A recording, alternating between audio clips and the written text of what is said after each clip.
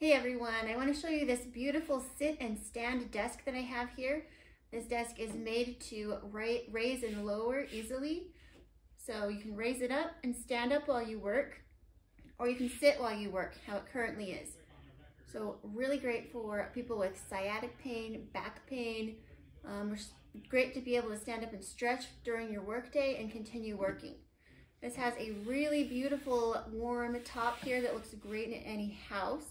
Made to look like a warm wood grain, so it looks rich and inviting and adds to the ambience of the house.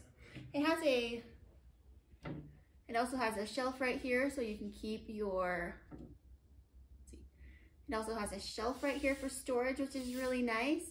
And um, I'm gonna go ahead and raise it up and show you how you do that.